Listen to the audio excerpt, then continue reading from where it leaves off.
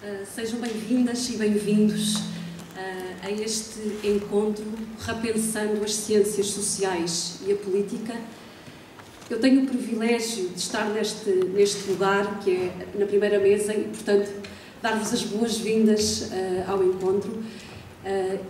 este evento surge na sequência de vários eventos que nós temos vindo a organizar no Centro de Estudos Sociais o primeiro aconteceu em 2013, chamava-se Há Palavras que Nasceram para a Porrada.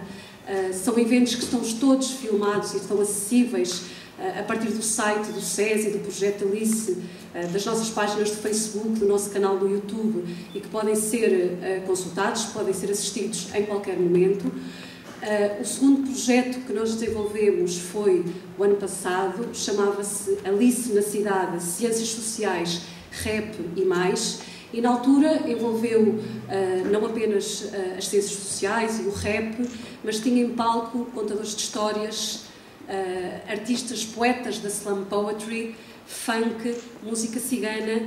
E foi um desafio muito interessante para todos nós e todas nós que o vivemos e criou um entusiasmo para que nós continuássemos a prosseguir neste desafio das epistemologias do Sul, que nos tem vindo a ser lançado pelo professor Boaventura de Sousa Santos, para construirmos aquilo que vem sendo chamado da ecologia de saberes, que é precisamente esta ideia de não fazer a separação entre a academia e, o, uh, e a arte e construirmos uh, conhecimento para a transformação social que não hierarquize os diferentes saberes, mas que os junte no mesmo palco. Eh, não é por acaso que nós decidimos fazer hoje no teatro uh, os vários momentos deste encontro. Há um significado especial no facto de estarmos aqui no Teatro da Cerca de São Bernardo.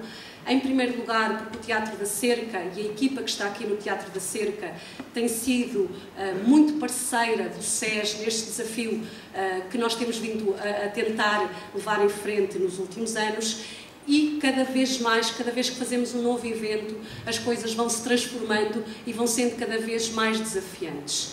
Este encontro é muito especial, em primeiro lugar, até porque é um encontro que não é apenas organizado a partir do SES. Eh, nós colocámos todo o nosso empenho, todo o nosso carinho nesta organização, mas foi um encontro já numa parceria que se criou entre nós, uh, investigadores e investigadoras do SES, nomeadamente entre mim, uh, o professor Boaventura de Sousa Santos, que tem sido a pessoa que desde há muitos anos nos vem desafiando a trazer para dentro da academia uh, estas outras formas de expressão e estas outras narrativas mas houve aqui também um desafio lançado uh, por pessoas que têm um pé na academia e um pé no rap, nomeadamente dois rappers com quem nós temos vindo a trabalhar muito de perto. Um deles está aqui do meu lado direito, é o René Inquérito, um rapper brasileiro, e o outro é o Mossoró, uh, que, uh, começou, que começaram a desenhar uma primeira proposta juntamente com duas colegas de Lisboa a Federica Lopati, que vai estar numa das mesas, e a Márcia Leão, que se encontra aqui também à minha direita. E tem sido um prazer muito grande uh, fazermos isto uh, em conjunto uh, e, neste momento, aquilo que nós pretendemos cada vez mais é não criar os espaços de separação em que existe um momento lúdico, específico, em que, estão, em que está apenas o rap e depois o outro momento em que os cientistas sociais estão a falar sobre o rap. A nossa ideia é sempre ir muito mais longe e vamos nos desafiando para ir mais a longe, para construirmos esta ciência com o rap, com a arte e nunca apenas sobre o rap ou sobre a arte. Uh, e é por isso que é possível que uh, exista aqui alguns momentos surpreendentes, porque eu penso que neste palco pode acontecer tudo e pode acontecer tudo em qualquer momento. não quer dizer que o rap ou a poesia fique guardada para o final do dia ou para a noite. Esperamos que ela possa vir a surgir aqui, porque cada um dos nossos convidados e das nossas convidadas está convidado, convidada, desafiada e desafiada a trazer para este palco, em qualquer momento, o discurso no qual se sinta mais confortável. esta mesa é composta por quatro pessoas com perfis muito diferentes. Desde logo uh, está o professor Boaventura de Souza Santos, uh, que, como vos disse, desde há algum tempo nos vem fazendo este desafio uh, a todas e todas nós no SES para termos esta abertura, para começarmos a pensar não apenas no nosso espaço de conforto, mas com os outros espaços, que há alguns anos atrás fez um livro de rap que se chama O Rap Global e do meu lado direito está o René Inquérito, que é um grande rapper brasileiro que se disponibilizou na altura a trabalhar conjuntamente com o professor Boaventura para fazerem uma coisa que se chamou a Ópera do Rap Global. Uh, do meu lado esquerdo, ao lado do professor Boaventura, está o Meise, dos Dilema. É um dos rappers mais antigos um dos rappers mais importantes do cenário uh, do rap uh, em Portugal. É um prazer enorme tê-lo aqui conosco. E ali à minha direita está a Márcia Leão, que, que, é uma doutoranda que tem vindo a trabalhar sobre questões do rap na Guiné-Bissau. Cada um deles, cada um, cada um deles e, e a Márcia irá fazer depois a apresentação sobre eles próprios na forma como eles se sentem confortáveis a fazer a sua apresentação e eu não vou levar mais tempo nesta introdução e vou passar a palavra ao René Inquérito que passará à sua apresentação nesta mesa que se chama A Raiva é a Saliva da Alma, o Hip Hop, as Ciências Sociais e a Intervenção Política.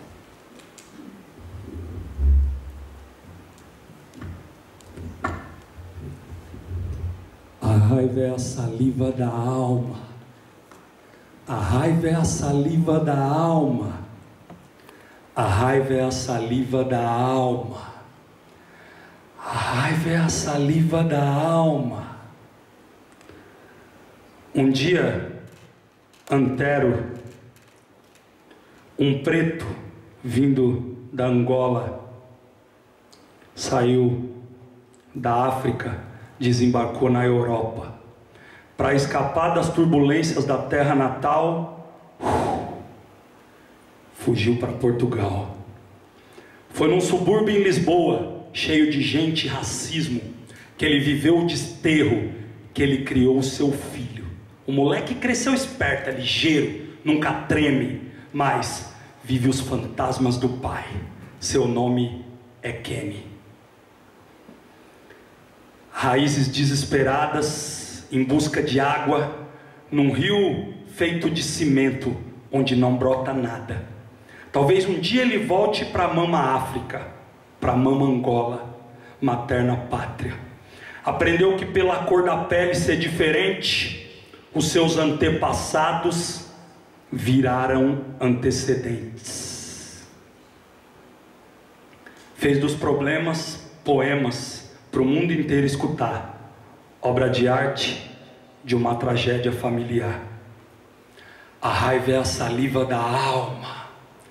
A raiva é a saliva da alma. A raiva é a saliva da alma. A raiva é a saliva da alma. A raiva é a saliva da alma. A raiva é a saliva da alma. A raiva é a saliva da alma. A raiva é a saliva da alma. Meu vulgo é Renan, meu nome é Inquérito, e eu vou ligando os morros tipo um teleférico. Uns vêm de carro, outros vêm de bike, nós vêm de pó. Poesia e só. Nos livros, nos discos, nos pinos, nos papel, transformei um grupo de rap num cartel. E era tudo que eu tinha. Essa foi minha cota. Fazer as folhas do caderno vale mais que as folhas de coca. Também, com tanta letra horrível que uns aí têm feito, nem caderno de caligrafia dá jeito.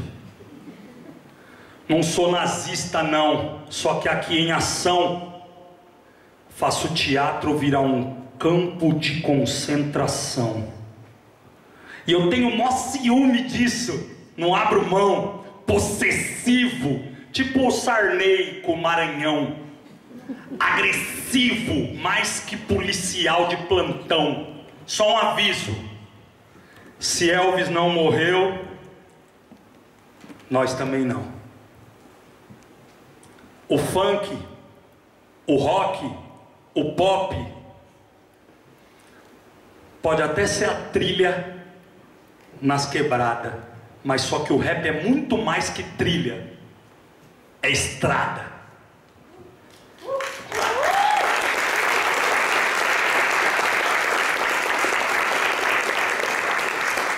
O rap, o rap é a comunidade no mutirão, enchendo a laje. É ir no cinema ver um filme, tá lá o Tupac, o Sabotagem. Rap é quando um menino preso, que mal escrevia, contraria e ganha um concurso de poesia. O rap é house preto, não é bala de tutti-frutti. É um carrinho de dog que hoje é food truck, a caneta do GOG, a agulha do LJ, os pés do Nelson, as mãos dos gêmeos, no spray.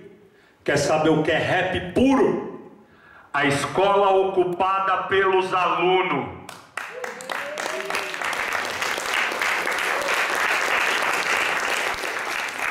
Marighella, Mandela, Guevara, Dandara, Zumbi foram rap antes mesmo do rap existir. Um texto do Ferrez, um samba do Adoniran, são rap, tanto quanto um som do Utan Clan. E as tia que leva sopão pros mendigos, é rap até umas horas, mais que os MC umbigo. O rap é tipo Galileu e a sua teoria. Provou que o mundo não é centro, ele é periferia. Sarau da Coperifa, São Paulo, Zona Sul, resgatando mais gente do que o SAMU.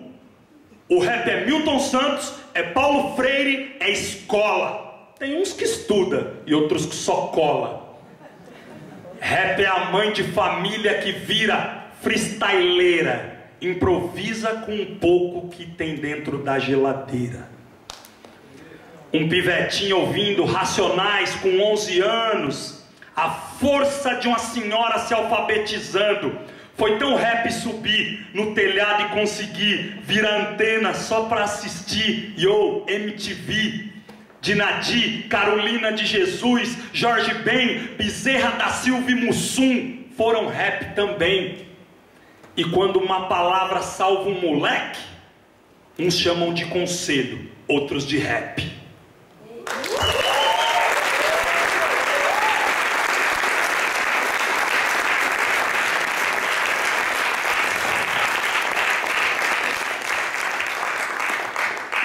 Obrigado a todos, boa tarde.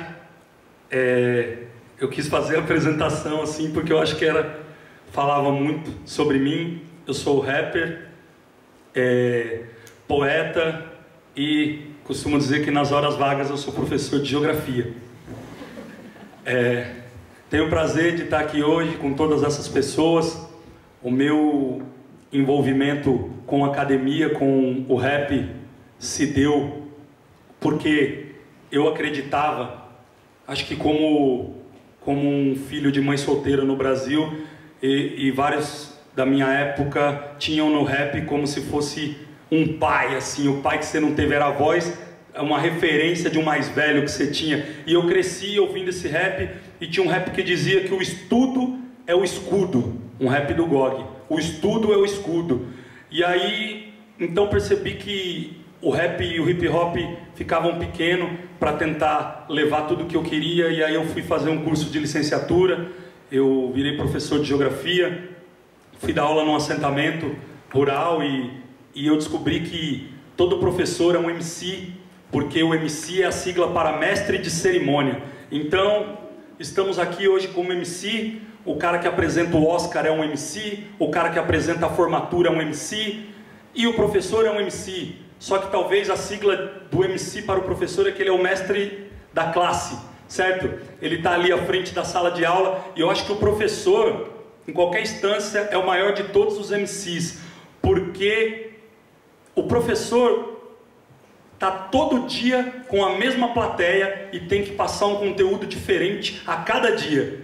Diferente do MC que está no palco e a cada dia tem uma plateia nova e pode passar o mesmo conteúdo. Então o professor é um grande MC. E eu me descobri enquanto professor sendo MC na sala de aula e me descobri também enquanto MC sendo professor. E depois que conheci o trabalho do professor Boaventura e depois que nós trabalhamos junto no Rap Global, cujo poema que eu fiz aqui, A Raiva é a Saliva da Alma, é, é um dos poemas, dos textos, que está lá no livro do professor que na verdade abre o espetáculo e dá nome a essa mesa, por isso que eu começo com ele. E então assim, eu tenho vivenciado ao longo dos últimos anos essa passagem entre o hip hop e a academia, tentando sempre fazer uma ecologia dos saberes ou uma extensão ao contrário, né? tentando é, unir as duas coisas sem hierarquizar, sem, sem dizer, porque nós temos dois saberes: o da ciência, que é supervalorizado, e o do rap, do hip hop, que é subvalorizado. E quando nós encontramos pelo nosso caminho pessoas que têm, não sei, essa iluminação ou, ou, ou esse sentimento de, de conseguir unir, de conseguir ouvir o outro, elas nos mostram o quanto a gente pode, pode transformar, porque eu digo a gente é mais parecido que diferente, saca? Só muda o sotaque, a quebrada, os problemas, dilema, os mesmos de sempre. A mãe que segura, o pai é ausente. A escola é uma esmola e o plano deu certo, deu certo. Com os livros longe, a TV sempre perto. Para nós aqui haja espera, haja fila, haja calma, haja chá de cadeira e de camomila, haja força para seguir em frente, firmão, resistindo à extinção, tipo o cobrador de busão. Já parou para pensar? Reparou que conquista é escada, não é elevador. Eu também já perdi vários parceiros que foram atrás das verdes e acabaram no vermelho. Sonharam em ter várias de 100 na sacola para compensar as notas azul que não tiveram na escola. Naquele tempo, carro de bandido era Opala e os moleque não matava nada além de aula. Ninguém sabia inglês. Um truta traduziu, falou que hip hop era mexo quadril então eu traduzi a minha maneira. Fui mexer o quadril e tirar a bunda da cadeira. Levantei, fui correr, mas não fui correr numa esteira. Fazer por merecer, porque essa vida é passageira. Quase que eu nem tinha força nem músculo. Só a esperança piscando em maiúsculo.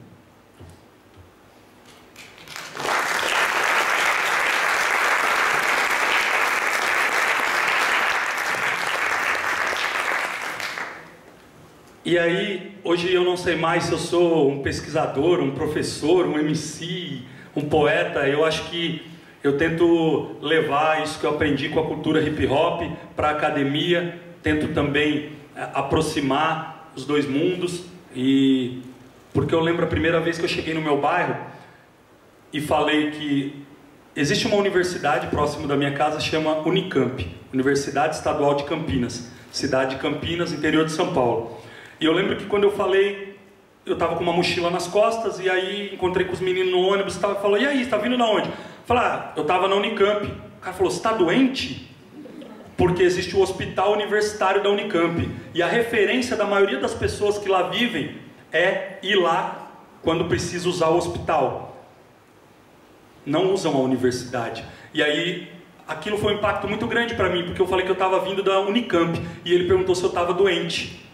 Eu não entendi se era porque eu era doente porque estava querendo estudar ou se eu era doente porque estava. E aquilo ficou na minha mente e reverbera anos depois, porque foi se construído uma barreira e um discurso de que a universidade não é para nós e de que a academia não é para nós, e é um discurso que reforça esse afastamento. E eu acho que um encontro como esse, uma ecologia dos saberes, ela faz faz ponte, né? Eu falo que a gente é que nem concreto, sabia? Uns viram muro, outros viram ponte, algum dia. E aí eu acho que isso é, é, é uma ponte, é, é, um diálogo entre os saberes. Eu sou feliz por, por poder estar vivendo isso e por poder também fazer essa extensão ao contrário, seja, seja através das rimas, seja através das aulas e, e do que for. E eu acho que nas próximas gerações nós teremos dentro do hip hop não só MCs, DJs, b-boys e grafiteiros, que são os quatro elementos do hip hop. Eu sonho com um dia que nós tenhamos dentro do hip hop médicos, psicólogos, assistentes sociais, professores, dentistas e, e todas as outras coisas, porque eu acho que extrapolam esses quatro elementos. Mas somos letras no mundo de números, diria Ferrez. E aí, eu gosto daquela frase do professor Paulo Freire que fala assim: é, as palavras não mudam o mundo, as palavras mudam as pessoas e as pessoas podem então mudar o mundo. É, eu vou fechar minha fala fazendo uma dedicatória aqui. Essa essa aqui é para os economistas e para os banqueiros. E para toda essa raça que come dinheiro. Que não contente com os números e com as cifras que tem, estão se metendo a besta com as letras também. É, adoram dividir a gente em classe. É só ver. Classe A, B, C, D. Só se for D. Aí, pega toda a sua etiqueta e a sua classe e some daqui com essas calculadoras covardes. Já fomos divididos, subtraído, vendido demais, tá ligado? Não queremos virar classificado. Quem precisa de classe? É a molecada, sem sala de aula, nas escolas de lata. Deixa as letras para eles, que eles precisam mais.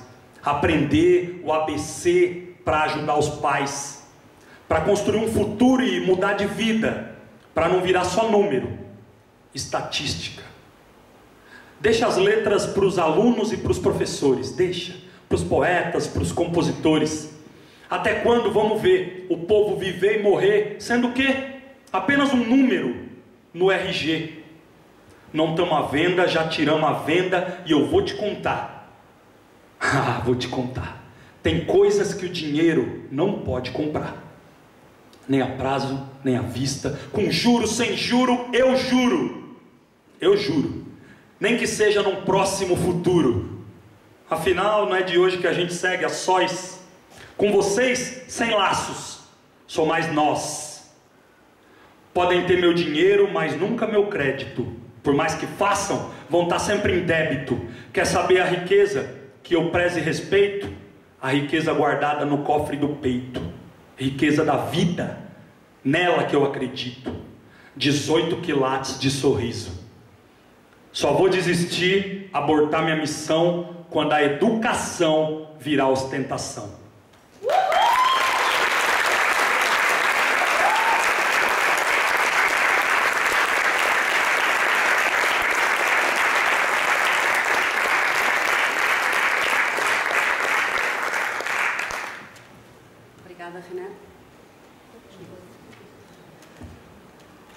passar para alguma coisa completamente diferente. Uh, vou passar então a palavra à Márcia Leão, uh, que se vai apresentar.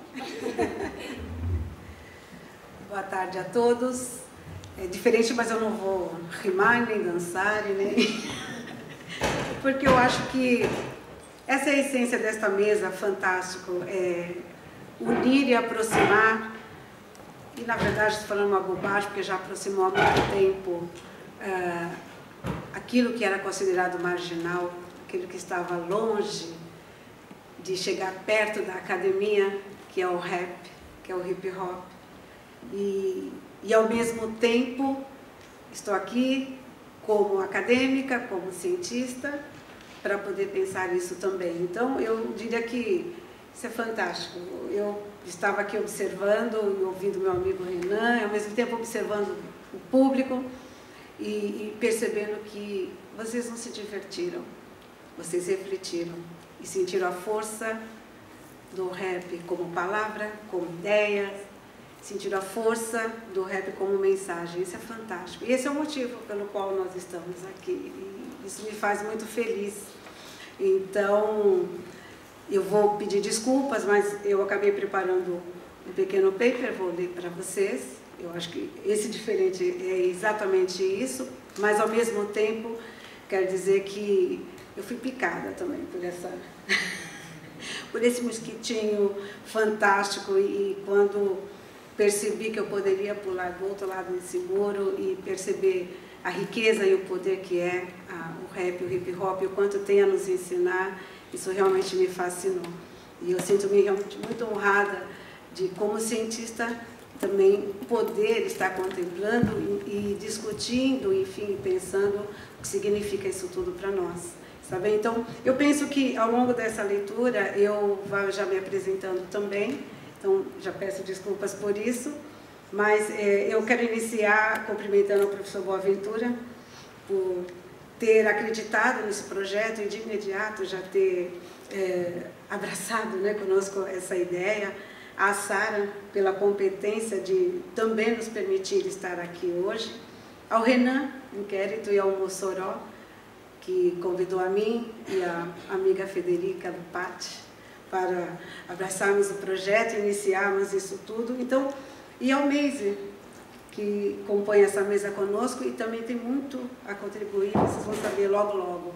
E para mim é um imenso prazer poder estar aqui discutindo é, e repensando né, o rap, o hip hop e a academia, as ciências sociais e a política. E é mais ou menos nessa linha que eu desenvolvi, eu vou tentar é, não ser muito, não me alongar muito, não ser muito cansativa, mas espero que vocês compreendam, até porque é, meu início acadêmico ele foi muito desafiado, né? Porque nunca olhou de uma outra forma, a não ser com preconceito para o, o rap, para o hip hop. Então, eu acabei desenvolvendo aqui, escrevendo aqui algumas frases que eu ouvi quando iniciei a minha pesquisa de mestrado, por exemplo, que foi lá no Brasil, que foi sobre a construção da identidade do negro.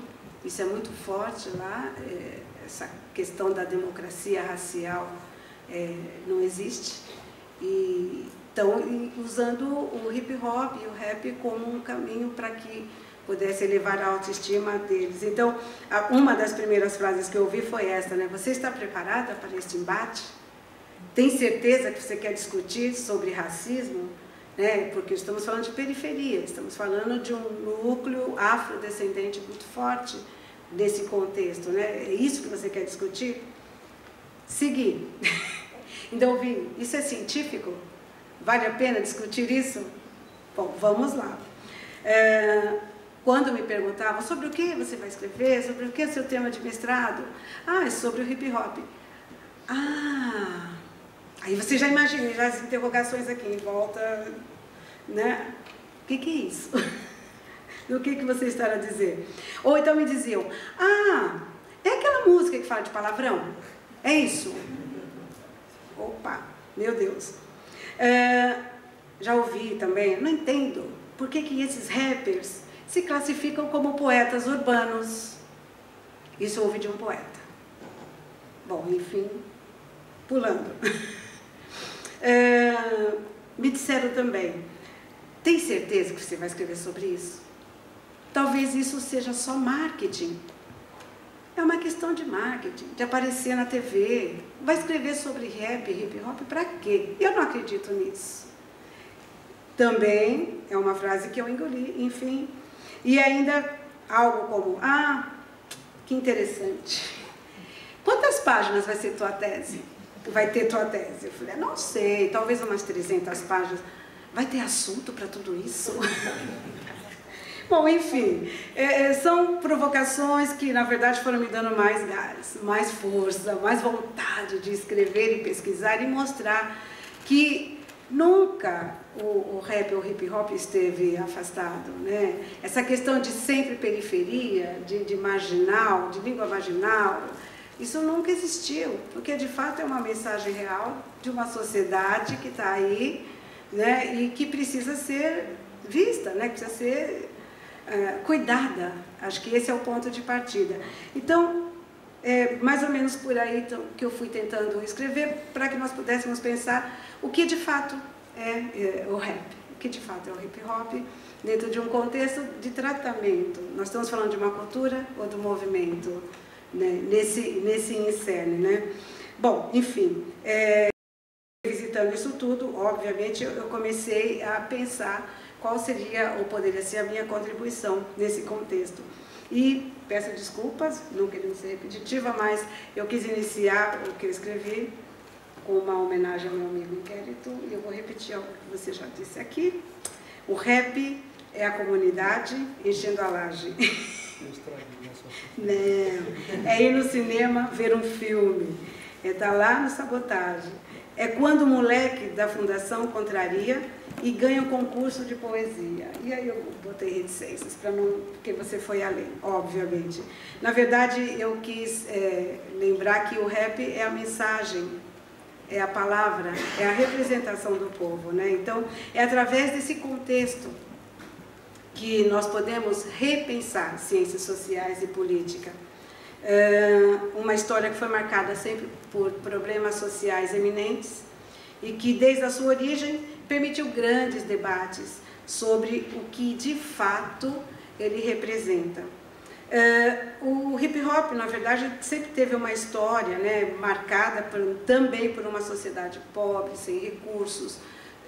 Talvez essa, essa ligação direta com a periferia marca essa cena, né, esse contexto. Problemas é, com recursos financeiros, enfim. Uh, e a periferia, na verdade, ela acaba se destacando como sendo um, um, um local. E eu estou falando, olha que coragem minha, falar isso perto de um geógrafo, senhor. Mas a periferia, ela marca de fato o afastamento, né? aquilo que está longe do centro, aquilo que está longe de ser tocado, de ser é, apreciado. Como eu já disse agora há pouco, cuidado. Portanto, é um lugar de, com falta de infraestrutura, um lugar com uma pobreza extrema, e isso é um fato que observa-se aqui em Portugal, observa-se no Brasil, observa-se em África. Né? Nós temos ali uma realidade é, de carência, né? de, de, de, de pobreza talvez, e que derruba a autoestima, derruba a, a, a vontade de buscar. Então, o Renan, ele lembra muito bem, quando nós tivemos aí jovens que têm na força da educação essa, essa linha aberta, essa porta aberta para poder mostrar que, olha, eu estou aqui, eu sou gente, eu posso, é, isso vai ser fantástico. Né? É uma questão de identidade. Uh, há hoje universidades que ensinam a cultura hip hop e eu me sinto muito feliz por isso. Dentro desse contexto, as ciências sociais e política é, conseguiram aproximar de alguma forma, e desculpa se eu trago os louros para ciências sociais e política, porque realmente não foi economia, não foi. É, foram as áreas humanas que começaram a prestar atenção no significado dessas mensagens e destas palavras. Então nós temos hoje essa aproximação já, então já é uma vitória das escolas, da escola né, e o hip hop. Então, é a ideia de uma, de uma cultura estritamente local que já ficou para trás e que hoje começa a, remeter, a reverter e trazer jovens que mostram que já não dá mais para ficar no mesmo lugar, já não dá mais para pensar que isso não tem solução. Né? Eu posso buscar uma saída. E eu vejo que isso é muito importante. O papel, o papel do hip hop e do rap desafiam os aspectos mais preeminentes da história uh, do desenvolvimento social. Há uma, uma pesquisadora norte-americana, na verdade ela é mexicana, mas ela tem uma escola em Nova York, a professora Marta Dias, é, em que ela acabou, dentro desse contexto dessa história também, ah, abrangendo esse processo e abrindo as portas de universidades lá, e que isso acabou se expandindo para outros lugares, mas ela, ela provoca com algumas perguntas que eu acho fantásticas, que ela diz o seguinte, e se a história do hip hop e a sua cultura criativa puder ser usada para desafiar os problemas locais e globais, reformar e melhorar os modelos existentes, fortalecer e melhorar a democracia, e se o hip hop puder transformar o pobre e oprimido, período esquecido, um cidadão produtivo, colocá-lo como um cidadão produtivo, engajado, pensante e livre, eu achei isso fantástico, porque ela viu na educação esse, a resposta para essas perguntas, o processo para todos esses aspectos.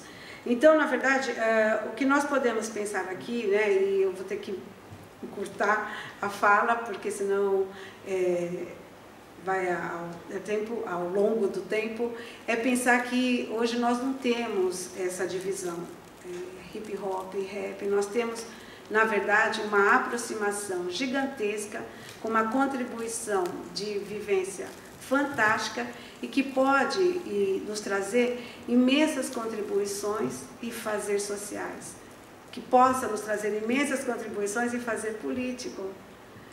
Só que nós temos que agir, precisamos sair do lugar e começar a entender que é, o estudar o hip hop, na verdade, é um fator também de ativismo político. Né? Eu preciso fazer alguma coisa, eu preciso transformar. E é isso que me levou a estudar em Diadema, São Paulo, na casa do hip hop, o fazer do hip hop lá, em, em políticas públicas, com as câmaras, com a Câmara Municipal, que dava aos aprendizes a oportunidade de levantar a autoestima, de buscar oportunidades no mercado de trabalho, de achar uma saída. Hoje, nós, essa Marta Dias, por exemplo, já falo empreendedorismo do hip hop, né? O, o, os diferentes lugares, as diferentes realidades sociais têm permitido, uh, tem, através do hip hop, tem permitido várias saídas, dentre elas a, a gravação de discos, a escrever poemas e livros e, e programas e expandir isso para o mundo né, e ganhar espaços. Então eu penso, gente, só para finalizar realmente e não me estender, que nós já estamos num processo de que não dá mais para olhar uh, tudo de uma maneira uh, local e diferenciada, mas que esse fazer se torne de fato um movimento social que esse fazer se torne de fato a transformação. E aí eu finalizo também com uma outra homenagem ao Maze, que eu peguei também uma frase, onde ele diz o seguinte: É vida bendita, palavra dita, sai da alma espremida, como uma lágrima retida, há muito tempo para ser vertida. Eu penso que essa, essa situação de alma oprimida já está ficando para trás. Nós temos muito o que mostrar, e me desculpe se eu coloco nós, porque agora aqui eu já estou aproximando e envolvendo de alguma forma a academia e o hip hop. E eu fico muito feliz de ter grandes representantes do rap e do hip hop dentro da academia e mostrando que realmente já houve a versão e já houve o destaque. Portanto, estamos aqui para fazer a diferença. Obrigada.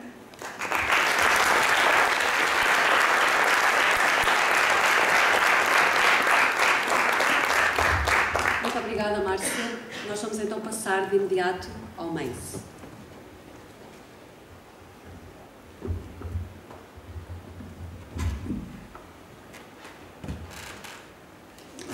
Olá a todos, boa tarde. Antes de mais, quero agradecer convite. É um, um prazer enorme estar aqui, eh, principalmente rodeado destas figuras ilustres aqui ao meu lado. Eu sou apenas um, um desconhecido que escreve algumas coisas e debita em cima de batidas. Portanto, é um, é um prazer enorme estar aqui bem acompanhado, eh, a falar um bocado da minha experiência. O meu nome é André Neves, o meu nome de guerra é Maze, faço parte do coletivo Dilema, uma banda nascida em 96, na cidade do Porto. Eh, eu tenho 38 anos, comecei ou entrei para o movimento hip hop aos 15, 14, 15 anos e, eh, e os Dilema começaram quando eu tinha 16. Portanto, mais de metade da minha vida é passada a fazer rap. Uh, bem mais de metade. Portanto, o hip hop acaba por ser a minha vida, basicamente. Uh, entre outras coisas, outros gostos que eu fui desenvolvendo, mas foi uma paixão enorme que tive nessa altura. Uh, e a minha porta de entrada no hip hop é o graffiti. E eu começo a desenhar palavras nas paredes, uh, não sabendo ainda que iria continuar ligada à palavra, não desenhada, mas a palavra dita. E passado pouco tempo, eh, comecei a escrever e comecei a, a perceber que gostava de, de, falar sobre o que me ia na alma, gostava de replicar ou tentar replicar ideias e conceitos que eu ouvia de rap americano. Eh, porque na altura eu faço parte da primeira geração de, de rappers nacionais. Eh, alguns são mais velhos do que eu, mas eu já nessa altura já, já escrevia, portanto considero que faço parte dessa primeira geração. E eh, quando, quando, enquanto fazia grafite já ouvia e já consumia rap americano constantemente. Nessa altura estava a estudar artes visuais e a determinada altura percebi que não estava ali a fazer nada. Gostava, mas a minha paixão, a minha real paixão, era o rap. E queria escrever e queria fazer disso a minha vida. E não havia propriamente um curso superior de rap, não é? Por, não, acabei por, por criar o meu. E tive, tive professores excelentes. Tive, sei lá, o professor Hakim ou uh, o, doutor KRS-One ou uh, o Nas, que para além de serem professores, eram meus amigos, porque eu relacionava-me com aquelas letras, com aquelas vivências. Aquilo estava a acontecer em Nova York, mas se calhar também estava a acontecer no Porto, nos bairros onde eu vivia, onde eu passava, onde eu passava tempo com pessoas que estavam no mesmo, na mesma sintonia e, e a, a, viver as mesmas experiências. Eh, portanto, eu identificava-me realmente com, a, com aquele estilo de vida. Eu sempre fui uma pessoa bastante curiosa, desde miúdo. E quando descobri essa paixão, eh, desenvolvi ainda mais essa curiosidade. E foi aí que eu tirei o meu curso da Rua de Sociologia também. Portanto, eu comecei a, a querer conhecer as pessoas e os sítios onde elas vivem. E, e, eh, e sempre tive facilidade em relacionar-me e em comunicar com toda a gente. Eh, fossem mendigos, milionários, eh, pessoas engravatadas, pessoas completamente rotas, pessoas de todos os estratos sociais. E, e acho que essa experiência que me foi passada pela convivência com essas pessoas eh, fizeram de mim um rapper que sou.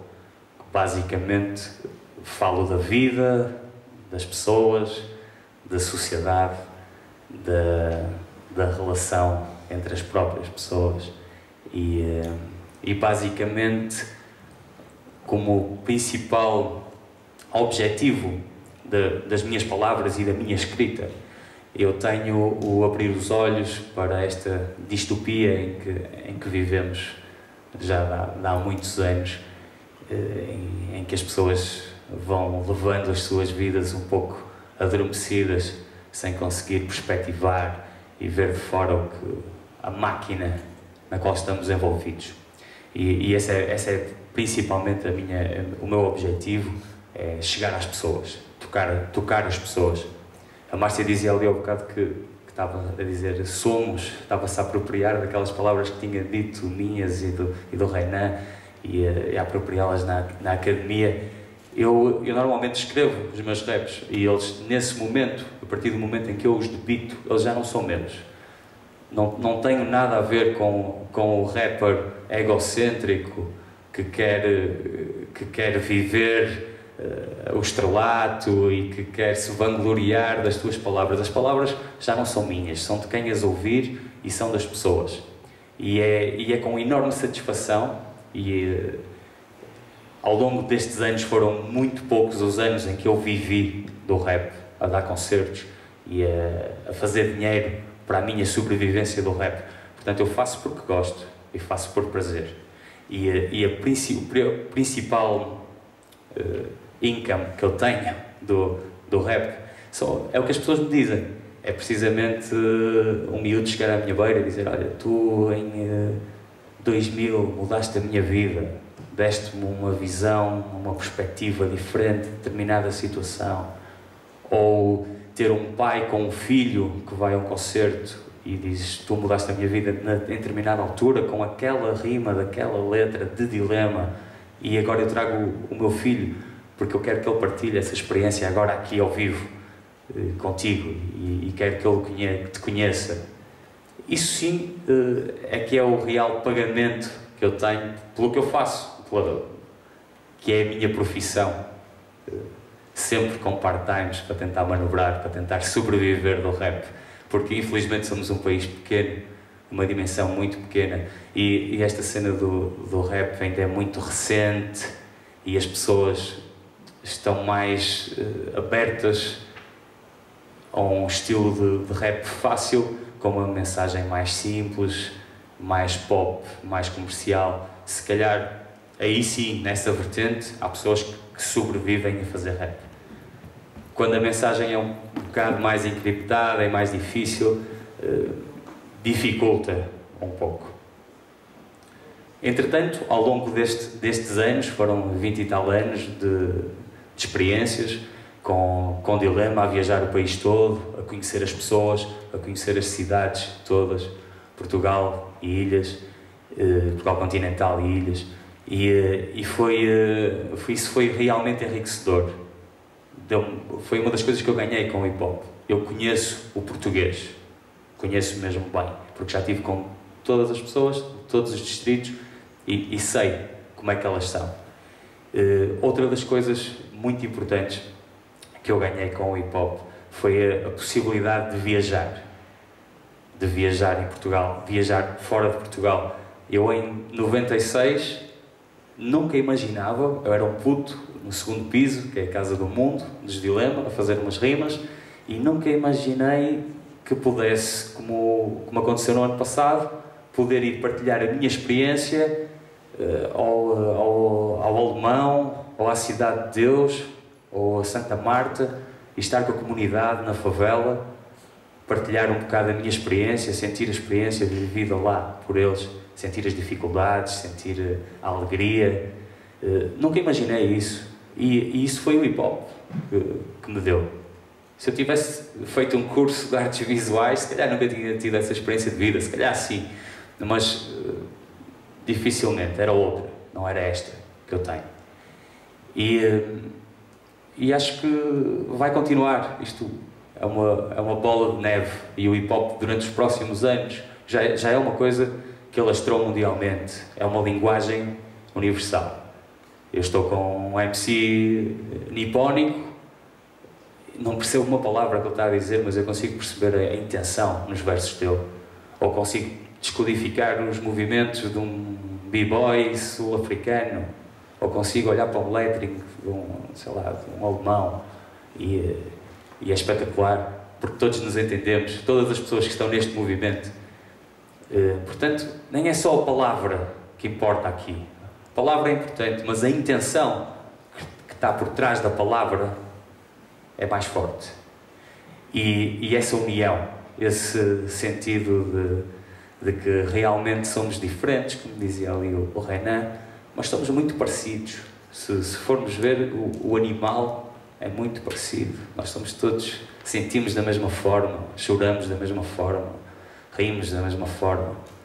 Depois, aí os nossos percursos vão-nos levando, vão-nos transformando e, e vão-nos dando peculiaridades. Mas somos muito, muito parecidos na nossa base. E acho que o hip hop uh, unifica dessa forma, traz-nos traz para essa realidade de que realmente somos muito parecidos. Somos, somos, somos um, basicamente. Uh, Basicamente, não tenho muito a acrescentar, porque já falei do meu percurso e é só isso, é o que eu sou. Não tenho grandes teorias académicas uh, sobre o hip hop. É, o hip hop é vivido, é experimentado, é vivenciado no terreno. Não é uma coisa teórica. É sentido. Tem que ser sentido. Tem que ser praticado. Não vale a pena estudar muito e perceber a influência que ele tem nas, nas pessoas. Tem que ser sentido, tem que ser feito. Porque senão não, não passa de teorias. Uh, Queria-vos mostrar só um bocadinho. O Renan rimou bastante e eu, pronto, ficaram com uma noção do que é que ele era através da rima dele.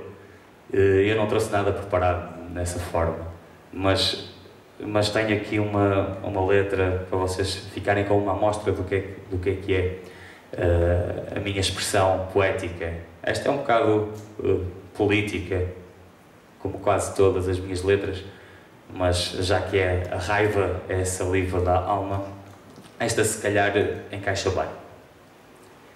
Ei, acorda já, presente, aqui, agora. Adora o universo agradece fauna e flora. Não sejas mais uma ovelha que se rende a esta ditadura que nos prende. Sente. Cito Agostinho da Silva e os seus ensaios. Que a morte nos escolha vivos, não suicidados. Voemos como cavalos alados, sem medos, sem desculpas. Teremos que enfrentá-los. Urbes são morgues de população escravizada, ciborgues da civilização mecanizada, desumanização, intoxicação ácida, torpes com insensibilidade máxima. Triclopes tropeçam nas armadilhas do ego, sem campo de visão, terceiro olho cego.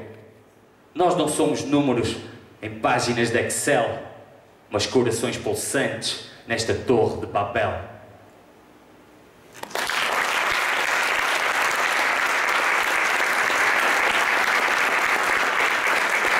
Obrigado. Obrigado. Logo à noite. Depois já podem ouvir mais rimas minhas.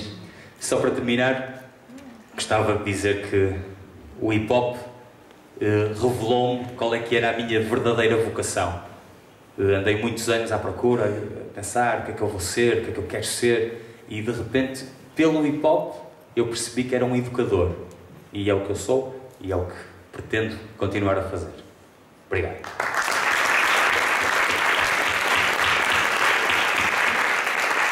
Obrigada, mãe. Como Mães acabou de dizer, uh, juntamente, Mães juntamente com o Renan Inquérito, entre outras e outras rappers, vão voltar logo à noite. Depois nós já fazemos uma, uma pequena síntese daquilo que vai ser o programa.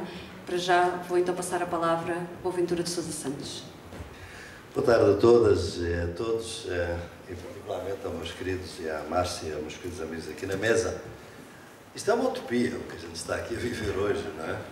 A gente não inventou a palavra mas inventou a palavra rá pensando as ciências sociais, que é o título do próximo livro uh, de coautoria minha e do Renan Inquérito, já vão saber. É uma utopia, porque realmente, como diz o Sartre, todas as ideias antes de serem realizadas são utopia, não é? Como é que nós podíamos estar a imaginar que nesta universidade de 800 séculos, sei lá, 80, não, 8 séculos, meu Deus, uh, como é que nós podíamos estar aqui a fazer uma sessão em que não é fazer sobre rap, é trabalhar com rap, é trabalhar naquilo que o Renan já chamou muito bem, não sei onde é que ele aprendeu isto, é a ecologia de saberes, mas... Portanto, o que é isto que a gente está aqui a fazer? Eu penso que isto é uma zona libertada este momento que é uma zona libertada do capitalismo, do colonialismo e do patriarcado e da ciência convencional que sempre, da ciência convencional que sempre protegeu exatamente estas formas de dominação. É uma zona libertada que prefigura alguma coisa. É prefigurativo. O que está aqui é prefigurativo. Uh, imaginem, por exemplo, universidades em que realmente uh, os educadores e os educantes pudessem ter esta diversidade que está aqui presente na mesa, por exemplo. a diversidade dos temas, a diversidade dos títulos, dos, dos estilos, das narrativas. Uh, tudo isto é pré-figurativo daquilo que é possível fazer. Se é possível fazer agora, podia ser possível no futuro. Porquê é que não é agora? Porque o nosso sistema está criado para desperdiçar experiência, que é, aliás, um, um subtítulo dos meus livros. Desperdiçamos muita experiência social, política, cultural, nestas sociedades que nós vivemos. Portanto, esta zona libertada é uma das formas pelas quais, através dos, nós hoje podemos imaginar uma sociedade futura. Porque a sociedade futura não nos interessa muito com o futuro distante. Porque nós partimos do que nós chamamos as epistemologias do Sul. As epistemologias do Sul são procedimentos para validar, reconhecer e valorizar os conhecimentos produzidos pelos grupos sociais que lutam e resistem contra as opressões do capitalismo, do colonialismo e do patriarcado. E, portanto, é um conhecimento nascido na luta. É assim que deve ser. E o rap e o hip hop estão exatamente, talvez, do melhor conhecimento nascido na luta. E, portanto, não quer dizer que o conhecimento científico também não possa ser nascido ou até usado na luta. Mas é evidente que é essa a perspectiva que nos anima.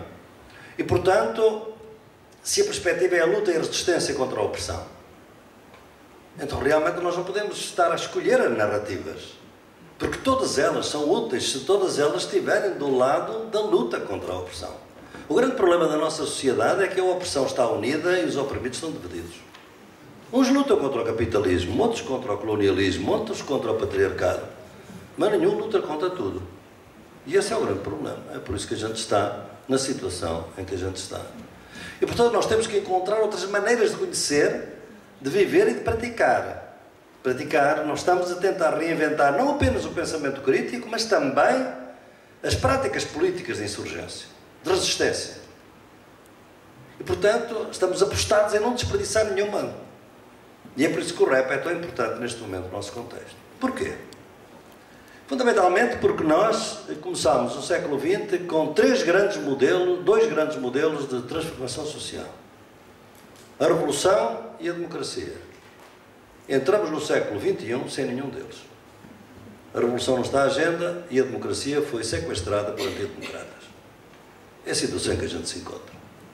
E, portanto, o nosso erro fundamental ao longo do século, e quando digo nosso, digo de todos aqueles que lutam a partir de uma perspectiva crítica e não estão satisfeitos, inconformados eh, com esta situação de dominação com estas três cabeças, realmente nós não fomos capazes de ver como é que se poderia resistir a essa a opressão, a essa forma de dominar o mundo? E, portanto, eu penso que neste momento, se nós queremos garantir a possibilidade de nos reencontrarmos numa forma de resistência, só temos uma hipótese.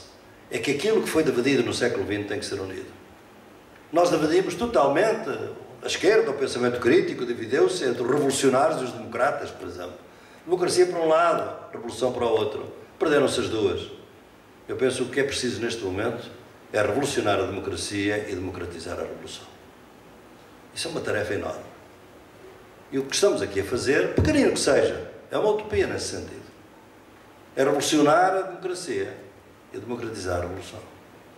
Porque a, democracia, a revolução devia ser uma coisa prazerosa, alegre, feliz, Aliás, o movimento operário no século XIX era muito feliz, fazia-se teatro, música, porque, obviamente, os operários não tinham acesso a nenhuma da cultura oficial.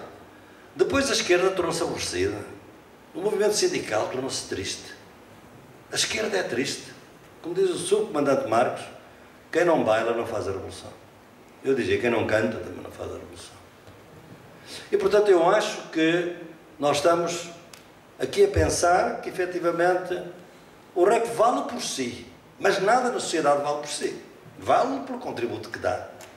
E, portanto, não faz sentido estarmos a distinguir a arte da política. A grande armadilha do nosso tempo foi isto. Foi transformar a arte em algo que é simultaneamente aurático, isto é, tem um privilegiado, é um privilegiado, é o artista, uh, que tem um tratamento muito especial, mas é totalmente marginal. Não conta. Porque conta são os medíocres políticos que nos governam. Portanto, eu penso que nós temos que fazer essa ponte entre arte e política, porque são realmente formas de estar no mundo. A arte é muito importante para transformar a política e a política é muito importante também para transformar a arte. Mas pode a arte, nesta sociedade, resistir à tentação do capitalismo? Sabemos muito bem que a arte tem tido e os artistas têm tido muitas vezes esse trajeto. Começam radicais e depois terminam ao serviço uh, do, do capitalismo, até do pior.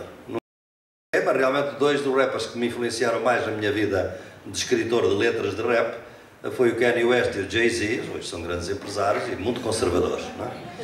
Mas não eram quando eu os conheci. Quando eu os conheci, eram realmente totalmente revolucionários. Porque realmente o que é que é importante? Porquê que o rap é importante? É porque é aqui que está ainda a semente da revolução. Se virem bem as letras dos autênticos raps, porque também há os outros já comercializados, é? e ouvimos aqui dois, neste momento, duas rimas, é aqui que eu ouço a linguagem da revolução. Também ouvi nos anos 70 com o Zeca Afonso. Também, obviamente, que também os viam, quem aqueles na Argentina ouviam a Mercedes Souza ou no Chile, Vitor Jara.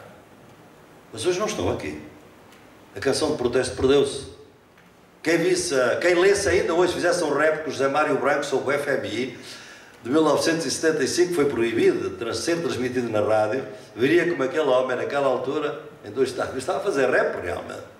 Mas ninguém sabia o que estava a fazer. Portanto, o rap é o que nos resta ainda da memória da Revolução. E como uma memória é antecipação.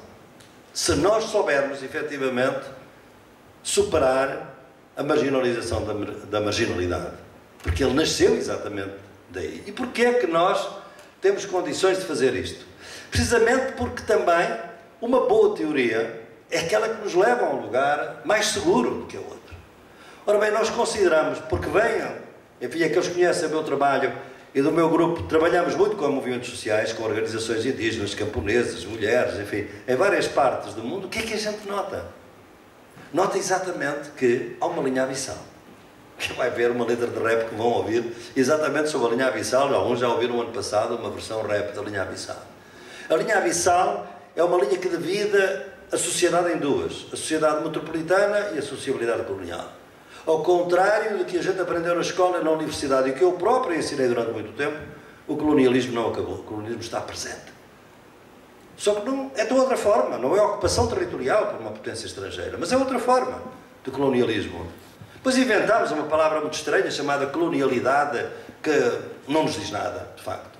Então eu prefiro uma palavra mais estúpida ainda, que é epistemologias, do Sul, para ocupar o conceito. Porque o conceito de epistemologia é conhecimento separado. As epistemologias do Sul é o conhecimento na luta. Portanto, ocupamos. É um occupy. É um ato de ocupação, tal e qual como a Universidade Popular é um ato de ocupação do termo universidade, que é elitista. E, portanto, o rap, se virem bem, mostra-nos bem a linha abissal. A zona de não ser, como dizia o Franz Fanon. Aqueles que estão do lado lado da linha, aqueles que não contam, que são vítimas de racismo, de xenofobia, de violência, de islamofobia hoje não são verdadeiramente humanos. As teorias que todos nós, que o próprio pensamento crítico desenvolveu na modernidade ocidental, foi sempre a olhar para a sociabilidade metropolitana, nunca para a sociabilidade colonial. E é dessa que nós temos que olhar. As epistemologias do Sul olham dessa comunidade. Portanto, os rappers são mestres, são professores. Porque exatamente eles estão na linha de não ser e apresentam o conhecimento a partir da linha de não ser. Portanto, qual é a sua especificidade, por exemplo, em relação a um livro que eu possa escrever sobre as epistemologias do Sul? Porque é que eu tenho que escrever letra rap para dizer as coisas que não consigo dizer na sociologia? Eu não podia escrever num livro de sociologia a raiva é saliva da alma. Imediatamente os críticos bem encartados diziam, mas isto não é um sociólogo, é um ideólogo, é um qualquer coisa, não é? Portanto, realmente as disciplinas matam a criatividade. Foi outra matança que nós fizemos ao longo deste século. Portanto, é preciso sair delas. Como não é possível sair de um momento para o outro, porque temos as zonas libertadas, que são estas, e há muitas outras na sociedade, e depois temos que pensar numa transição. A transição que estamos a fazer aqui é ir mostrando que pode ser diferente. Não vamos, obviamente, transformar a universidade, nem vamos, os rappers não vão amanhã estar a fazer extensão ao contrário. Nós estamos a mostrar, a possível que é mostrar uma transição, que é possível. Não desperdiçar tanta experiência criativa, tanta coisa maravilhosa que existe e que está marginalizada, precisamente porque não é acreditada do ponto de vista do conhecimento epistemologicamente. Isto é, não é, não é válido o conhecimento. São opiniões dos garotos, dos miúdos, umas miúdas e tal, não interessa. Pelo contrário, são mestres, todos nós. Portanto, esta radicalidade da linha abissal é fundamental. Mas qual é a sua especificidade? A especificidade é que eles aprofundam o dissenso. Toda a teoria eurocêntrica é uma teoria obcecada pela ideia do consenso. Grandes filósofos, como por exemplo Habermas, ficam obcecados pela ideia do consenso, da argumentação, da razoabilidade. O rap é exatamente o dissenso. É o contrário disso tudo. Não é irracionalidade, mas é uma racionalidade de outro tipo. Uma racionalidade que, por exemplo, como viram nas letras que eles leram, nunca se separa da ética. Não é possível argumentar racionalmente sem entrar com ética uma intenção política. E é isso que efetivamente distingue esta ideia do dissenso. Mas para isso nós vamos ter que fazer muito trabalho, tem trabalho de transição. Um trabalho de transição tem vários aspectos. O primeiro é que nós temos que criar mais espaços de afirmação da arte que parte da linha abissal. É o que estamos a fazer. O rap é exatamente isso e outros, o grafites, o funk. Estamos a falar do teatro do oprimido. Estamos a falar exatamente desta aqui, mas é evidente que há muitas outras. Temos que criar mais espaços onde elas se afirmam. Elas deviam ter mais lugar nas escolas, deviam ter lugar nas universidades, nos lugares de trabalho, nas autarquias, nos governos. Claro que em muitas autarquias era melhor fazer o teatro do opressor que o teatro do oprimido, mas isso é uma fé. Uh, infelizmente. Mas é, é exatamente esta ideia de uma intenção política que nós precisamos de afirmar. Estar mais presente no espaço público, que é o que está aqui a fazer-se. É por isso que realmente eu já vos posso anunciar que eu e o Renan estamos vindo a trabalhar de uma maneira que talvez também ninguém pudesse imaginar há uns anos, nem eu podia imaginar, que é eu escrever as minhas aulas, transcrever as minhas aulas que até se chamam magistrais, se forem à página do SES é assim que elas são chamadas, são cinco aulas este ano e vamos publicar as minhas aulas numa página e na outra página o rap do Renan. A minha aula ao espelho do rap, o rap ao espelho da aula. E portanto são cinco aulas, cinco raps. E vai-se chamar lá pensando nas ciências sociais. Portanto, é exatamente uma coautoria, porque é muito coautoria. Se virem bem, o Renan agarra nas minhas frases e transforma-as noutra narrativa e acrescenta as deles. Qualquer dia estou a fazer o inverso, ainda não comecei, mas não tarda muito, não é? Não tarda muito que a gente esteja nessa. De maneira que é exatamente a afirmação destes espaços que se podem agora imaginar múltiplas situações em que a gente pode fazer isso. Às vezes pergunto-me o seguinte, porquê é que eu tive que começar pelo Brasil e não por Portugal? Eu hoje tenho contatos, estou muito feliz de conhecer, conhecer de nome, só hoje é que vi o Comeis aqui ao meu lado, não é? Mas eu tive que só com o Soares, que vai estar connosco, o Jacques Wilson e o Flávio, o Hezbollah e o LBC de Soldier, com os quais trabalhamos já há uns anos, que estiveram agora connosco durante um curso de verão, durante 10 dias, e que foi extraordinário, e que a minha ideia é que vão ser sempre nossos professores no nosso curso de verão. Foi uma experiência extraordinária, mas efetivamente essa experiência veio depois da minha experiência com os rappers do Rio Grande do Sul. Os rafuais, sobretudo, que estão a escrever a história alternativa do Brasil a partir da perspectiva negra. Das grandes opressões de que foram vítimas, inclusivamente, que a história do Brasil não dá conta. Como, por exemplo, os lanceiros negros que foram trucidados pelos brancos dos dois campos que estavam na Guerra de Farroupilha. Isso nunca ficou, nunca ficou registado nos livros.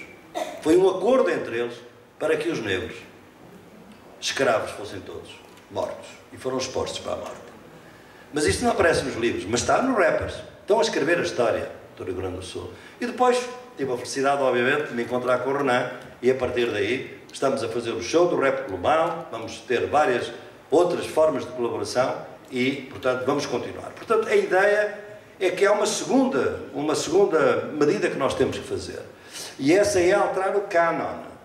Isto é, nós não só, não só temos que levar mais, criar mais espaços públicos para a afirmação desta ecologia dos saberes, que é um conceito fundamental das epistemologias do solo, conhecimento científico, conhecimento do rap, articulá-lo, transformá-los numa ecologia de saberes, mas também alterar o canon.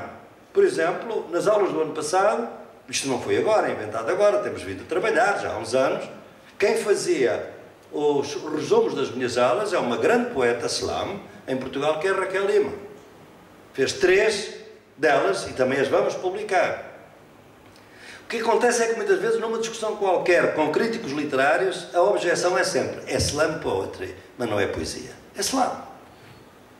Porquê? Porque não acreditam na possibilidade desta radical democratização do ato poético, como tivemos uma oficina, agora na nossa, na nossa curso de verão, em que eles estiveram, ela e o Mico Mengussi, que estiveram a ensinar exatamente como é que se faz, como é que a gente pode fazer a poesia. Portanto, temos que vencer duas grandes divisões entre o que é verdadeiramente a poesia e a poesia slam, ou a poesia do rap, e o que é a arte e o que é o artesanato.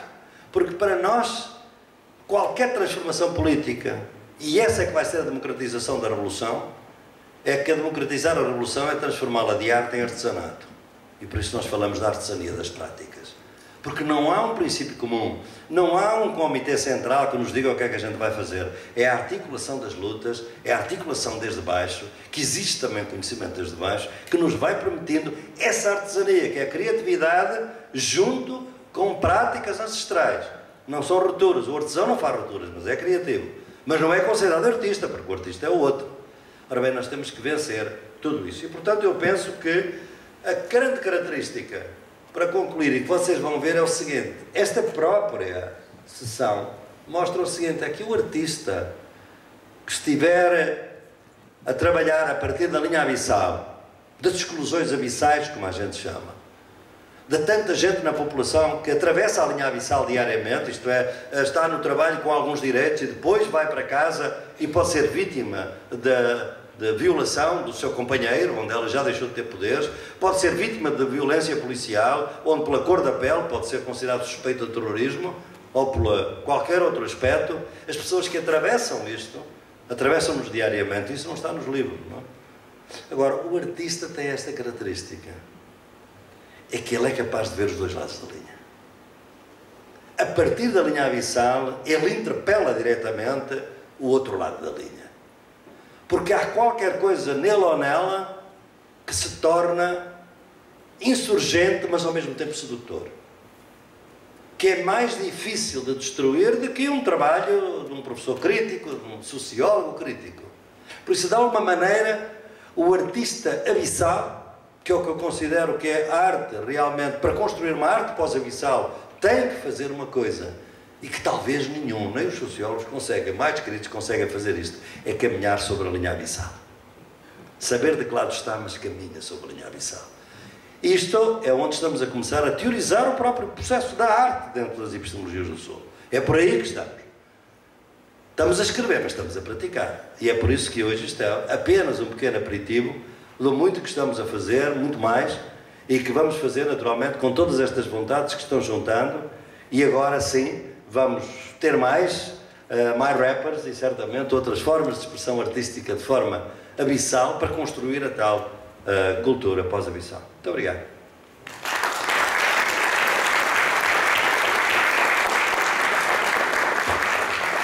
Bom, e nós temos já aqui a primeira proposta de projeto do dia que surge desta mesa. Uh, o professor Boaventura vai fazer uma aula magistral a partir de um rap do René Inquérito. Estaremos todos aqui para cobrar, uh, para cobrar esse projeto. Só quero chamar a atenção uh, para o facto de nós termos hoje mais uma mesa e, como terão reparado no programa, os títulos das mesas foram compostos por uma letra, de, por uma rima, por um por, uma letra de rap, juntamente com uh, depois uma descrição mais típica das ciências sociais. Daí este A Raiva é Saliva da Alma, que é extraída da, do rap global, uh, do rap que foi escrito pelo Boaventura e que depois foi trabalhado como ópera do rap global pelo René Inquérito. A próxima mesa, que vai ser já de seguida, depois de um breve intervalo, uh, é tirada de uma letra da, da Capicua e chama-se Não Vou Cumprir com a Puta da Expectativa, o Feminismo e o Rap. Uh, amanhã vamos continuar com uma mesa uh, que, que, se chama Temos Antepassados, Não Antecedentes. Penso que esta não foi retirada, certo? Surgiu no momento, a partir de várias, várias ideias e de um, de um brainstorming que surgiu no momento. Uh, e é o rap e a luta contra a xenofobia. E depois, à tarde, uh, depois, deste, depois desta mesa, também da parte da tarde, vamos exibir aqui um filme que seria, eu teremos muito gosto também que todos e todas participassem, porque é um filme intitulado Show Tópico, do realizador Pedro Neves, que trabalhou connosco no ano passado, em que nós fizemos um espetáculo onde participaram algumas pessoas que também vão estar aqui hoje, como é o caso da Minda Guevara, como é o caso do LBC Soldier e do ESBO MC, uh, e também houve ali uh, uma, uma, ecologia de saberes entre nós e o Pedro Neves, porque o Pedro ia fazer um registro dos eventos do espetáculo, do momento do, do espetáculo, e ele acaba por nos desafiar a fazer uma coisa muito interessante, que é, durante um dia, ele filma os bastidores do espetáculo e acaba por ser uma coisa que eu acho muito bonita e permitam-me esta, esta expressão de, que, é algo, que, que, é um filme que a mim me diz muito. Uma das coisas que eu gosto mais de que saiu do projeto Alice é aquele filme, uh, porque ele vai buscar as vivências que estavam a acontecer naquele dia e os testemunhos de cada um dos intervenientes sobre o que é que pensam do, da relação entre a arte e a ciência. Nós temos esse filme há um ano e estávamos à espera do momento certo para o divulgar e vai ser amanhã, vai estar cá o Pedro Neves e vai estar também o professor Boaventura e vamos também ter a oportunidade de, de, debater e seria ótimo ter os contributos de toda a gente uh, para esse debate. E obrigada a todas, a todas aqui da mesa. Uh, eu vou só dizer em voz alta mais uma, um projeto que eu acho que pode surgir aqui para que ele fique registado e pode ser que assim haja estímulos e motivações.